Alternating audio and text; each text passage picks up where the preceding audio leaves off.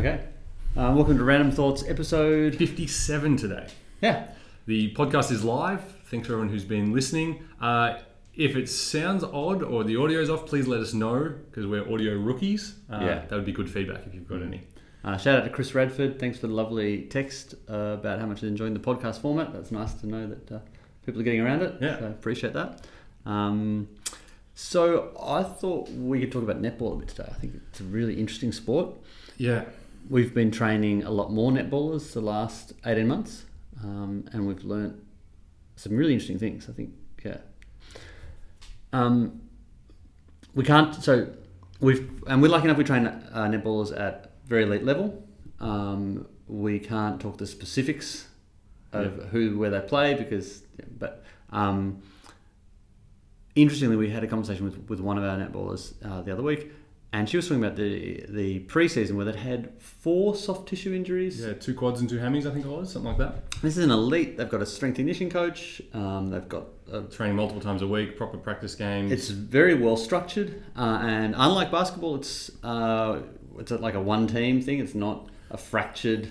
It, juniors, it's a little more fractured. You, Yeah. got, you got rep and domestic and sectional and stuff like that. But, But once you start getting into sort of the Mm. 18, 20 age group, it becomes, yeah, you so So to play uh, a winter season and a summer season, but only really for two teams, which Yeah. is kind of handy. Yeah, so the load's sane. It's quite it's quite good.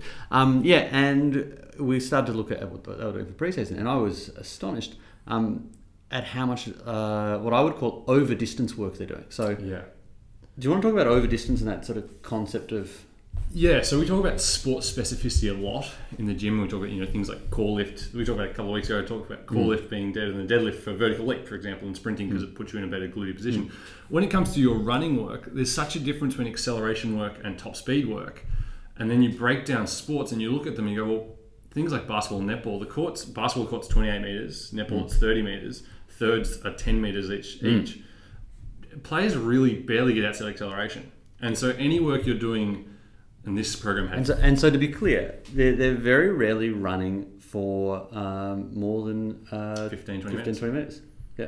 Because what is it? It's 20 meters from the top of the circle to Yeah, the from, from goal circle to goal circle, it's 20 meters, and its Yeah. third is 10. So the goal shooter, if they've run 10 meters, they've stepped out And, of their and it's not like anyone ever in the history of the game has gone from the top of that circle and sprinted at full pelt straight through to the other circle because you actually slowed down earlier. Because that would be offside. Because if, if that centre then steps into the circle, they're offside, so they have to decelerate. Yeah. So any work done above 20 meters is therefore, in some form, over speed training, and then they're going outside that specific you know, Yeah, mode and- they're training. And so what you're doing by, by doing the long distance stuff at, a high speed is you're exposing them to a stress well above and beyond what they would be exposed to in the game.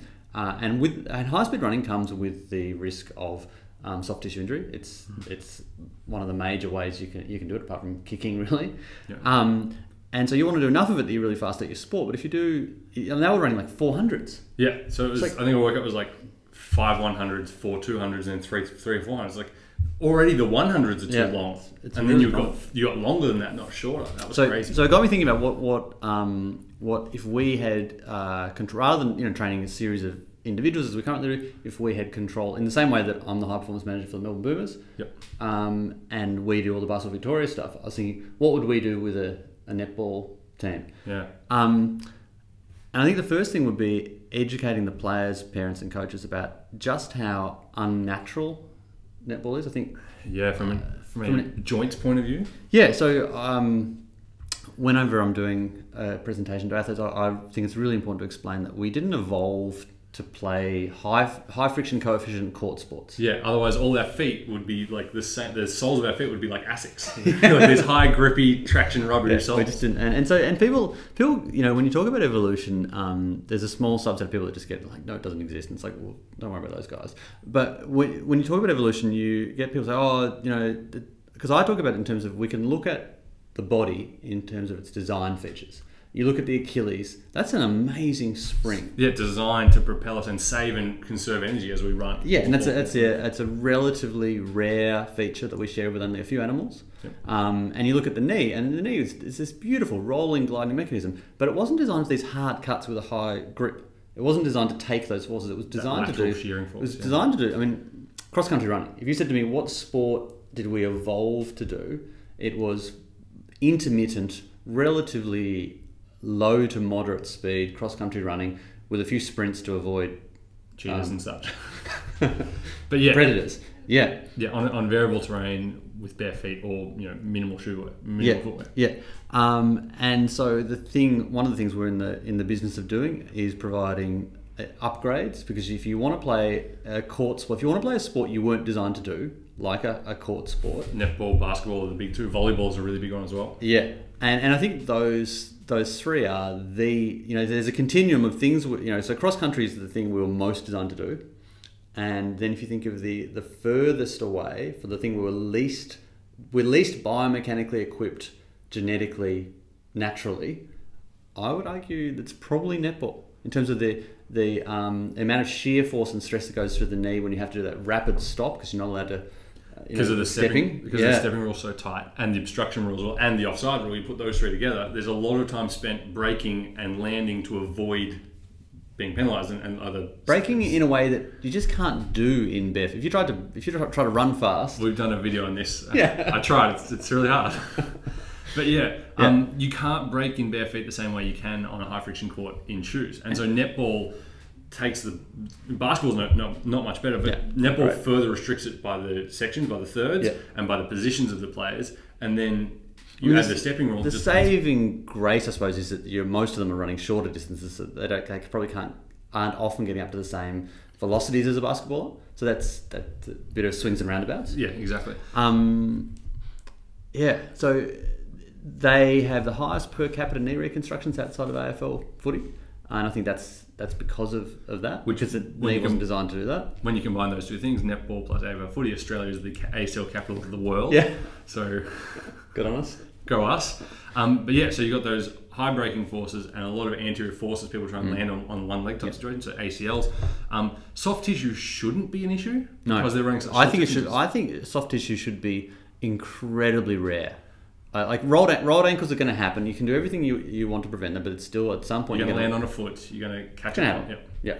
Um, and and patellofemoral, like knee wear and tear, is definitely going to be a thing. You can reduce it. I think that's the important thing. Is if you create that structural upgrade where you make your quads stronger And looser through the lateral quad and get that VMO up to scratch and get your glute up to scratch. and have a, a, a kneecap that tracks beautifully down the middle, you can really change your patellofemoral. Uh, I think you can almost eliminate uh, your tendinopathies. You know, if you apply a good isometric program, Good isometrics, good strength, good body awareness and control, and then be smart about your volume. you can get that way down, um, and you can dramatically reduce your ACLs. Yeah, through your movement skill work, hamstring strength, coordination, glute med, There's, all that there's stuff. heaps of stuff you can do there, and they'll still happen. Like it's it's Same, same as the ankles. You can prevent. You can do a lot of work for ankles, and then you'll have two. And it's like, oh, what have we done wrong? It's like, no, they just sometimes- sometimes they happen. Yeah, and because it's always land on someone's shoe, and you know. Um, but yeah, so there's tremendous structural upgrades that you can make to make your body better in terms of both the physical structures of the body and also the, I guess there's software upgrades where you can make your body better at Movement control. skill, nervous system control. Yeah. so there's heaps you can do, but it seems that the programs we've looked at are either too much. It's this still. It's this persistent. Oh, we've got to make you run till you vomit. It doesn't make people. Not for a sport. So, so that's it's. A, I reckon it's a hangover from footy It is. Yeah, big time. Because because there are football netball clubs. It's that's the majority of how people play. Is they're part of a footy netball club, and so there's this concept that the boys are running. You know, doing. So- or formerly the boys were doing gut running, and now so we're in the netball team. We've got to do the same. We've got to make everyone spew like the boys, so that we're you know we're ready for the season and we're psychologically prepared. It's like not at the expense of all the soft tissue work. and and and netball is the thing is you know. They can be hard as nails as well. Like there's a perception sometimes of softness. Oh, no. but the classic was one of our athletes who got hit by a car. she got hit by a car like on the Wednesday, and she wanted to play on the. Oh yeah. Hopefully she's watching or listening. Yeah, she comes in and is like, "How you been? Yeah, I'm good." You look like you're limping. Oh, you got hit by a car running cross country. what? Yeah, I'm going to play on Saturday though. Netball is. I've played a bit. It is a tough sport. Yeah, yeah. It is aggressive. It's it's it's non. It's a different kind of tough. Yeah, Yeah. It's not the tackle and you give each other corgis because you're beating each other up tough, but there is a level of physical demand that you have to get your body positioning right. You have to be aggressive. You have to be quick at the ball, and because there's so much short, sharp chop, choppy change direction, it's a really explosive sport. A lot of a lot of G forces. Mm. Like there's a lot going going through the body. Um, so Back, uh, sorry, can I jump in? Back Yeah, to the yeah. running stuff. doing that high speed running is not. It's going to improve their VO2 max and their anaerobic threshold and stuff like that, but it's not going to improve their joints, tendons, ligaments, and bones and muscles for those G forces that you just No. mentioned. So Yeah. that high speed running is going to get you very good at running track. Your 400 times certainly going to come down. Your 100 times going to come down. For those that don't get the torn hammy. Yeah. We'll get there in a second. But you're not going to be able to translate that fitness into what you're going to be doing on the court, which is repeat really short bursts. So if you're a wing defense, you're going to go maybe three or four sprints, three or four cuts, leads at the ball, and then you're going to rest for 20 seconds when the ball's at there. other end, five, 10 seconds, then I'd- you're going to go again. Ball gets I'd- to the middle. I'd be doing a truckload of uh, repeat tens and fifteens and a little bit of a little bit of twenties. I, I like athletes to sometimes run a little bit over the distance they'll need to. So basketball is 16 meters foul line to foul line. I quite like them to run 20 meters sometimes, so that they're just they've got a little more in the tank in terms of they're used to running a little further than they need to run. Um, but yeah, I'd be doing a lot more short, sharp stuff, and then having some some change of direction um, into into the mix there. I think you could do that, and you could get crazy fit, ready. You could still tick the box of it being hard uh, and feeling like you're going to spew a bit. And that So box sometimes repeat needs. sprints will be linked below or, or Yeah, above. great. Okay, cool. Um, but yeah, that's that's the stuff that I think would really be very safe, vastly more effective, um, and give them the conditioning not just in the heart, lungs, and the metabolic um, conditioning, but also actually conditioning through the tendons, ligaments, muscles, Joints, yeah. joints. Yeah. Um, Because net, in netball, soft tissue should not be a thing. should be just, If yeah. a netball came to us and said, I've done my hammy or I've done a calf or a quad, it'd be like, are you Yeah. sure you were a netball? Like, are you doing It's something just- else? And then they go, oh, yeah, I was doing some running. Because even in basketball, because they spend so much time in that low wide stance playing Mm. defense, there's a lot of groin load there. You don't even get that netball. even- Mm. Netball's even better in that sense when it comes to soft tissue. So they should be immune. It should be the occasional ankle and you know knee prevention and care. And- and- really should be a big and- injury concerns. And the other, and so that's that's the thing they get. They're they're getting too much of the wrong vitamin. That's it. and and there's the missing vitamin of, of strength. Uh, at the very elite level, they address this beautifully. Like their girls are very strong, explosive, great athletes.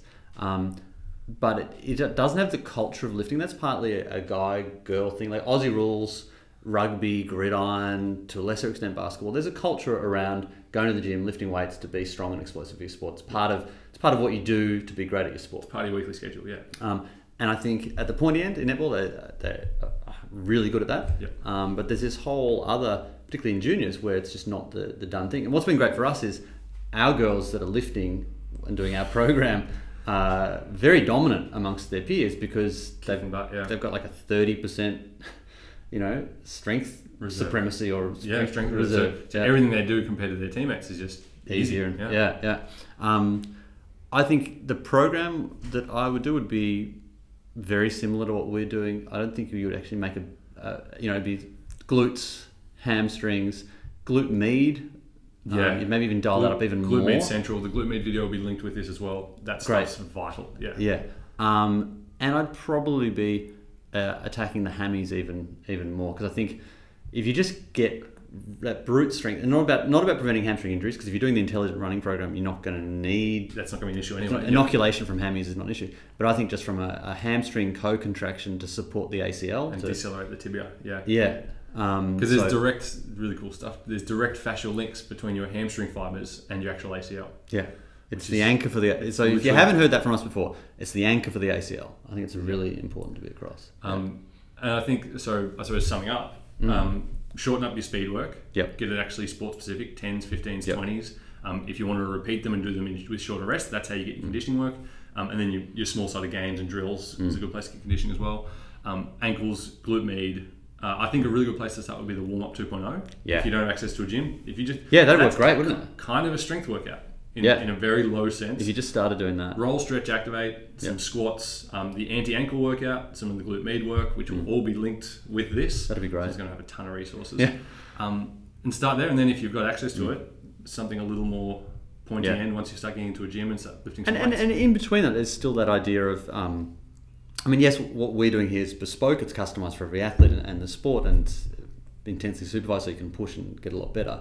But there's probably a middle ground too, where there's um, so there's the warm 2.0 where you get that basic biomechanical competency. Come back to levels level one, step one, yeah. Yeah, uh, and then there's the top level, and then there's also do um, four sets of um, ten squats supersetted with some arabesques and a straight leg hamstring bridge. Yep. you know, and a bit of calf raises. Like you, that's and some still core some planks or some yeah, push-ups. that's still placing you way ahead of the majority of your peers. Yeah. Yeah, yeah, Cool. cool. Uh, lots of resources. Yeah. Yeah, there'll be a ton of links in the show notes And- on our website. And chuck in new, the new resources document as well with the the Yeah. PDF Yep. that's I think that's phenomenal. I'll link to that as well, which has got even more resources. Yeah. cool.